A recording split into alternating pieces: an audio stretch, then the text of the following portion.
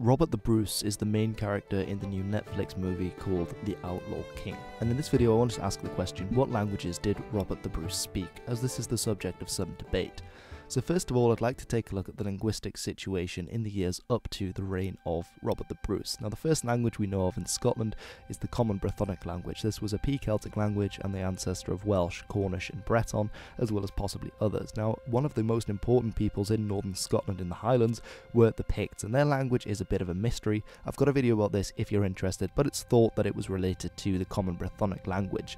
Now this was a Celtic language, the other branch of the Celtic languages in uh, the British Isles this time were the Q Celtic languages, or Goidelic, which was spoken in Ireland. Now, we're not entirely sure when this language came to Scotland. Some estimates put it as early as the 2nd century AD, others even go to BC, so before Christ, um, and others have it as a little bit later. But there definitely was a spread of the Goidelic language into the southwest of Scotland, with the Kingdom of Dal Riada, for example, but in AD 900, the Kingdom of Alapa, or Alba, was created under the kingship of Kenneth MacAlpin, and it's thought that he probably had roots in both the Pictish and the Dalriadan lines, but it was the Gaelic language that took over, and the Pictish language seems to have disappeared completely from Scotland, which is why today some areas of Scotland still speak Gaelic as a first language.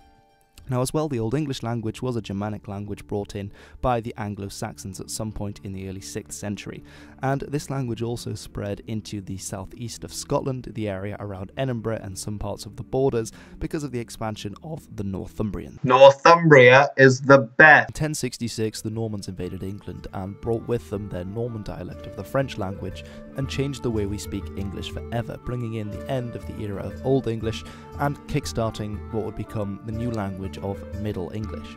Now, these changes were felt more in the south of the country, especially after the Great Vowel Shift of 1350, but because this is after our time, I can't really talk about this yet, because Robert the Bruce was before then. However, there were other vowel shifts which occurred in the north of the country, and included those areas that had been speaking the Old English language in Scotland.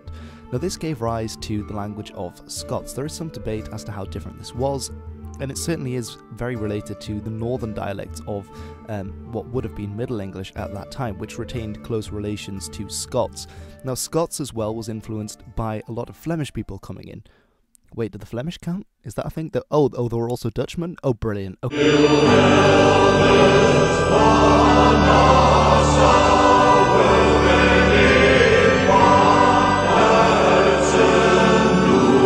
With the Norman conquest, the aristocracy that had been Anglo-Saxon changed its nature to a Norman one, and lots of these Norman families like the Fitzgeralds, the Percys, the Darcys, the Devereuxs, and um, also in Scotland, importantly, the Balliols and the De Bruce family, which became obviously the Bruces, were imported into England and later imposed on the Welsh. Now, Scotland was never actually conquered by the Normans as such, but their King David did actually invite a lot of Normans over the border to settle and to build, of course, the famous castles which they then did, and which would become rather annoying for later Scottish efforts at independence. Now, as well, it's interesting because you have certain Scotsmen who were both Norman and Gaelic, as we can see by certain earls, one of which called himself both Roland, which is a French name, but also Lochlan, which is obviously a Gaelic name. So there were various identities in Scotland at this time, and being of one didn't necessarily mean you couldn't be of another, which will be important for Robert the Bruce. Now as well, we have to look at, obviously I mentioned the common Brythonic language at the start of the video. There was a kingdom called Strathclyde or Dumbarton or Altclut or Stradclut at various points in its history, and this continued on into the early Middle Ages until it was enveloped by the kingdom of Alapa. And they did actually speak a P-Celtic language, so related to Welsh, there for quite some time and into the early Middle Ages. And it has been suggested that this may have been the first language of William Wallace, although I'll talk about that in a different video.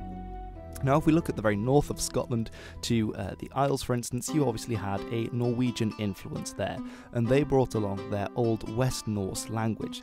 Now, there's been fairly little impact on the Gaelic language by the Old West Norse language, and it's thought that these Norsemen who did come up, the Hiberno Norse, soon started to speak Gaelic as a first language and forgot Old Norse. However, in places where there was um, genetically provable that there was a great shift in population, like for example Orkney and Shetland and the very north of the Scottish mainland, an area called Caithness, there was actually another language spoken called Norn, which was spoken into the 19th century before it was subsumed by Scots, although this is far to the north of where Robert the Bruce is thought to ever have come, so it's not going to be important for this video, although if you're interested, leave me a comment and I'll make another video looking at Norn in some detail. Finally as well, I guess you could say that English would be, can be considered as another language. Interestingly enough, Scots was first referred to as English um, because it was the language of the Angles who were the Northumbrians, so that was to differentiate between the uh, Gaelic language being spoken by many of the others in Scotland at the time and the French language being spoken by the aristocracy. Now, obviously, the English had been the Anglo Saxons until the Normans arrived, and French would remain a language of the aristocracy. So, a lot of the common foot soldiers and the archers, who were generally of the lower ranks um, of the English armies that came to Scotland to invade, would have been English speaking, whereas the commanders and the kings and such, they would be French speaking at the time. So, I guess we can say English. Um, could be considered a different language. Obviously, I mentioned Scots before, which really is just the northern equivalent of the Middle English language that developed. Um, and they would probably be able to understand each other without too many issues.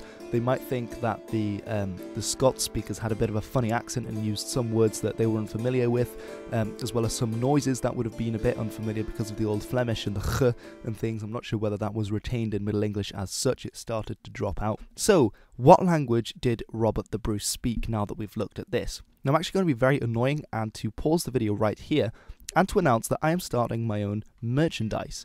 Yes, it's that time of year, and I thought, why not have some merchandise for the new year? I have a few designs for myself, which I think that you guys might like, and I'll put it to a vote.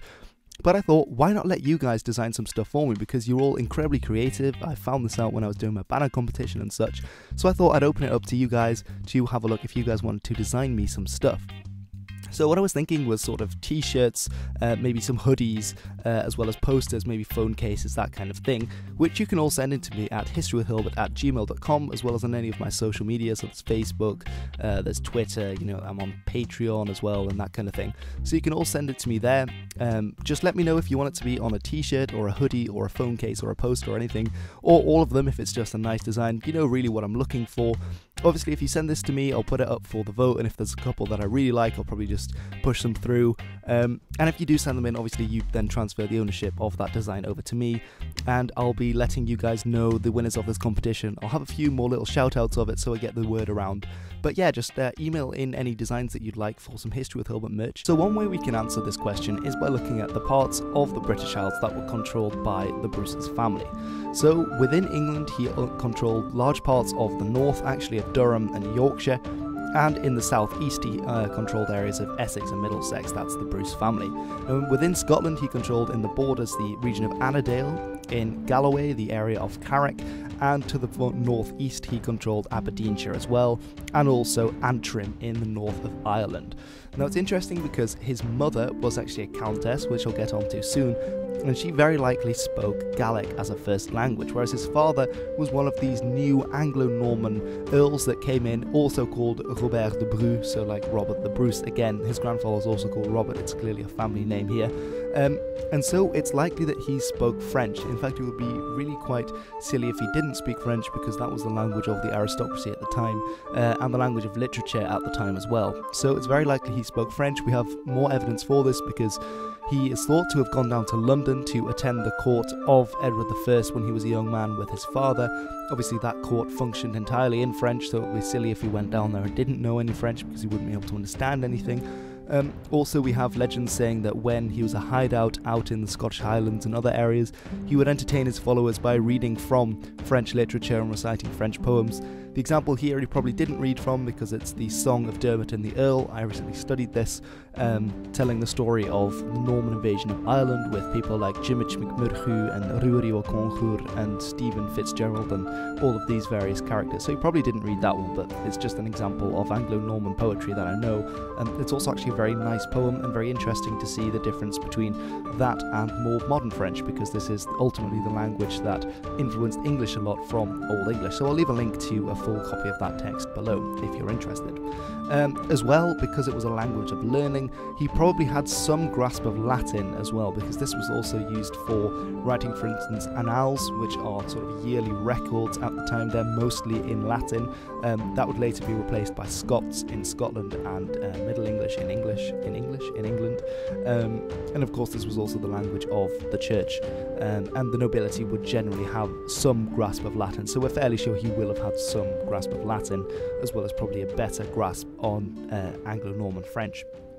Now, his mother, as I mentioned, was called Marjorie, and she was the Countess of Carrick, which is interesting because that meant that his mother actually outranked his father. But because of the way it worked at the time, his father, when he married Marjorie, there's a great story that he came back from crusading, and that she locked him in a tower until he agreed to marry her. She was that smitten with him. Whether that's true or not, I have no idea, but it's a funny story nonetheless. Um, and it's interesting because she outranked his father, but when they married, his father took on the role of the Count of Carrick in her name. Um, and the interesting thing is that she was from Carrick, which is this region in Galloway, and Galloway, until the late Middle Ages, was actually Gaelic speaking as a region.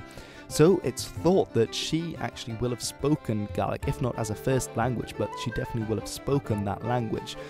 And we're not entirely sure how much of a role she had in bringing up Robert, but we're fairly certain that he was born there at Turnberry Castle, which was her, you know, home estate there. And if he, she did have much of an upbringing, um, much of a role in his upbringing, then it's likely that he will have taken on his mother tongue, as this was generally something that happened, that the language of the mother would be passed on to the child. That's, for instance, why we have certain English kings speaking Occitan, because their mothers were from the south of France at this time. Richard the Lionheart, for instance, although he really never went to the south of France. Um, as well, how we can infer that Robert the Bruce likely spoke Gaelic was that his biggest allies, two of them being Neil Campbell and also Angus Oge of the Isles, this was a MacDonald, these were both Gaelic speaking. Obviously, the Campbells are from Argyllshire, this was part of Dalriada, had been, and this was certainly a Gaelic speaking area at the time. The MacDonalds from the Isles, also a Gaelic speaking area, and these were his largest allies, and often allies worked along linguistic lines. You have, if you can speak someone's language, it's much easier to forge an alliance with that person, especially when you're going to war against other people.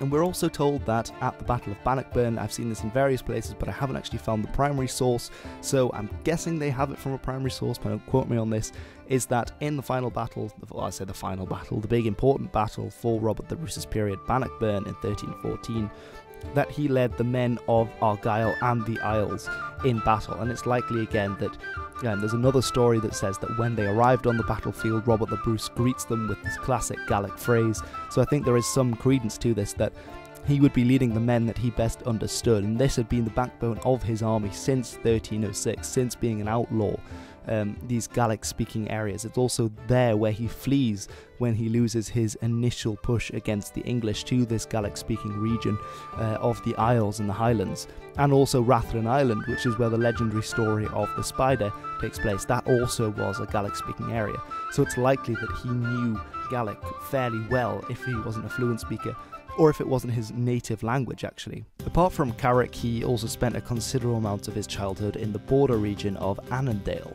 and the language of Annandale, as you can probably infer, was this Scots form of Middle English, as this had been an area that had been controlled by the Northumbrians, and this was really a largely feudalised area by the 14th century.